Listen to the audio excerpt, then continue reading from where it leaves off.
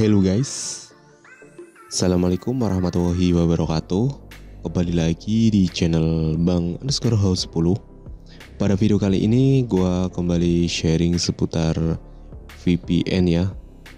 Jadi karena uh, di komentar banyak sekali untuk VPN yang sekiranya gratis dan banyak server seperti apa gue akan kembali menjelaskan ya oke okay?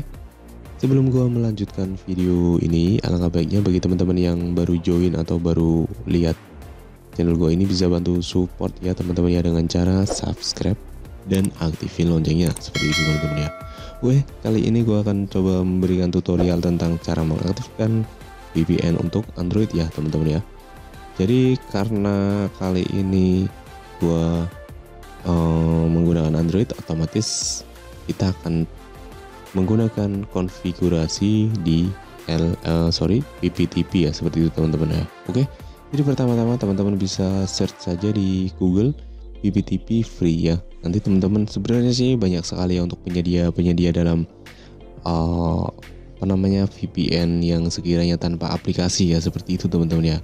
Oke teman-teman bisa lihat sendiri ya di sini ada VPN jantit this VPN VPN book VPN dan masih banyak yang lainnya ya seperti itu teman-teman ya oke? Karena pastinya di setiap uh, perubahan artinya di setiap harinya ataupun per, dalam perpanjangan waktu pasti ada perubahan di beranda. Jadi gua kembali menjelaskan di yang Reds VPN ya karena menurut gua lebih rekomendasi di Reds VPN ya. Di yang lainnya terkadang ada yang error seperti itu teman-teman ya Oke, mohon simak dengan baik-baik ya teman-teman ya di sini uh, di Res VPN ada server dari Asia, Eropa dan Amerika ya seperti itu teman-teman ya. Jadi kita akan coba langsung memilih uh, L2TP ya dengan cara klik di pojok kanan atas. Kemudian teman-teman pilih pada bagian yang PPTP. Sorry, yang PPTP ya bukan yang L2TP. Kemudian teman-teman uh, scroll kita dari atas ke bawah pilih untuk server ya atau negara yang kita inginkan ya seperti itu teman-teman ya. Teman-teman bisa lihat sendiri di sini. Oke sebenarnya banyak sekali cuma ini sinyalnya gua mungkin ya kurang stabil. Oke kita akan coba pilih yang pada bagian uh, mana ya? Teman-teman bisa lihat sendiri ya di sini ya. Gua tidak menyebutkan untuk negara-negaranya. Nanti gua akan coba untuk aktifkan membuat akunnya di Indonesia ya. Oke teman-teman lihat sendiri ketika muncul pop up seperti ini teman-teman bisa klik saja pada bagian yang silang ya di pojok kanan atas. Kemudian oke okay, kita scroll ke bawah ya teman-teman ya. Di sini uh, pilih pada bagian yang Android ya seperti itu teman-teman ya. Sorry. Pilih pada bagian yang Android kemudian teman-teman uh, oke okay, tunggu sebentar. Teman-teman uh, bisa Oke, okay, sorry, kita akan back aja ya karena kita tadi uh, salah, gua salah klik ya. Oke. Okay, jadi di sini ya, ini sudah posisi di bagian Android. Kemudian kita uh, isikan untuk username ya. Sebagai contoh gua akan tuliskan saja Ari 10 ya, teman-teman ya. Kita akan ketikkan Ari 10 seperti ini. Untuk password kita samakan. Wah, sorry dari password duluan malah ya Oke kita coba seperti ini ya teman-teman. Kita coba akun manusia Kita create akun ya. Kita buat akun terlebih dahulu untuk VPN Di Rage VPN uh, eh, Di L2 Apa namanya Di PPTP Sorry seperti itu teman-teman ya. Oke kan setiap gambar yang berisi vinyl ya. Jadi yang seperti kiranya seperti ini kita uh, Pilih ya teman-teman ya. Nantinya biar supaya tidak. Ya, uh, artinya bukan robot ya. Kita akan coba memeriksa. Oke. Okay. mohon uh, masih oke okay, kita pilih kembali ya. Di sini oke. Okay. sekarang kita coba periksa ya. Teman-teman kita ketika sudah terpilih semuanya ya teman-teman ya. Oke kita coba memeriksa Oke. Kita create akun. Jadi tetap teman-teman simak dengan baik-baik ya untuk penjelasan dari gua ini ya seperti itu teman-teman ya oke menanyakan peluang waktu lama ah jadi kita sudah terbuat apa tidak ini masih proses ya jadi karena uh, setiap harinya itu otomatis dari penyedia VPN itu sendiri melakukan updating untuk sistem daripada website yang dibuatnya sendiri seperti itu ya teman-teman ya. Oke? Nah jadi seperti ini nih teman-teman ya. Langsung aja ya teman-teman ya. Kita jangan basa-basi ya. Kita langsung saja masuk pada uh, bagian pengaturan ya teman-teman ya. Oke?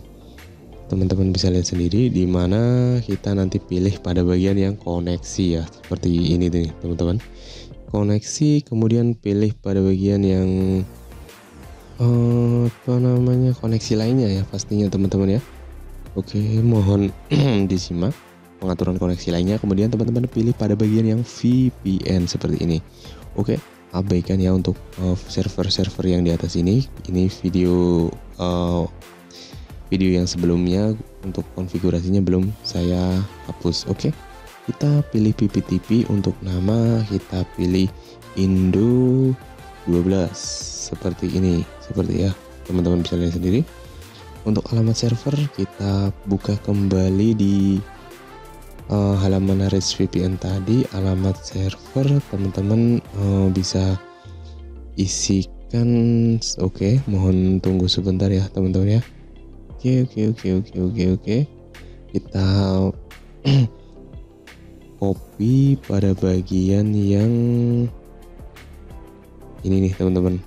Ya ini ini alamat server. Kita coba tempelkan di bagian alamat server teman-teman.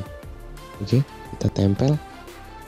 Kemudian untuk nama pengguna teman-teman uh, bisa lihat ya di bagian atas sendiri nih teman-teman ya.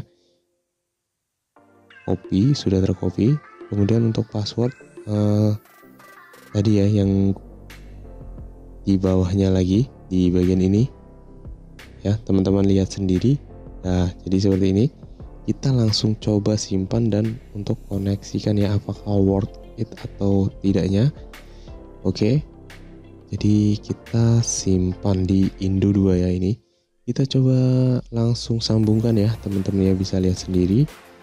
Oke kita hubungkan ke server tadi mana Indonesia oke teman-teman uh, mohon simak dengan baik-baik ya di sini ya jadi kali ini gue menggunakan REST VPN yang untuk penyedia dari VPN yang tanpa aplikasi Oke, teman-teman bisa lihat sendiri di sini masih menghubungkan ya teman-teman ya. Oke, kita coba uh, agak dekatkan lagi ke sumber wifi-nya supaya sinyal daripada wifi itu sendiri lebih stabil ya. Masih tetap menghubungkan ya teman-teman ya. Apakah worth it atau tidak ya untuk REST VPN ini? Sebelumnya gue sudah membuatkan masih worth it. Oke, kita gagal nih teman-teman ya. Kita bedah kembali untuk uh, alamat servernya. Apakah ada kesalahan daripada config yang saya masukkan ya teman-teman ya oke mohon simak dengan baik-baik teman-teman kita coba kembali di sini simpan ya teman-teman kita oke aktifkan. Sambungkan kembali ya teman-teman. Kita coba aktifkan. Harusnya sudah bisa langsung worth it tembus ya teman-teman. Cuma ini gak tahu kenapa masih tetap menghubungkan seperti itu teman-teman ya. Oke nanti kita coba ubah dari server ke ah ya jadi uh, sudah terhubung ya teman-teman ya. Jadi memang sudah benar ya untuk alamat.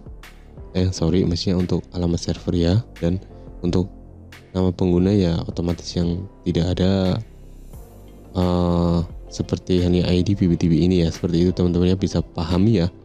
Karena gue sepilkan secara detail mungkin ya dan pembuatan ID uh, eh, tutorialnya pun tanpa potongan apa pun ya. Jadi langsung real uh, gua pembuatan sekalian membuatkan tutorialnya seperti itu ya teman-teman ya. Mengedukasikan ke teman-teman ya seperti itu oke di bagian ini teman-teman bisa pahami ya. Jadi sangat uh, jelas sekali ya untuk alamat server itu yang bagian ini. Dan untuk username itu yang atas sendiri ya di atasnya password atau kata sandi seperti itu teman-teman ya. Oke kali ini tembus ya teman-teman menggunakan penyedia Reds VPN dengan konfigurasi PPTP di Android seperti itu teman-teman ya. Oke dan untuk masa berlakunya ini tanggal 20 sampai tanggal 25 April jadi lima hari ya teman-teman ya teman-teman bisa gunakan lima hari dalam pembuatan satu akun di Reds VPN seperti itu teman-teman ya Oke, teman-teman YouTube semuanya, jika masih ada pertanyaan bisa ditanyakan saja di kolom komentar. Dan saya akhiri, wassalamualaikum warahmatullahi wabarakatuh. Semoga bermanfaat, guys.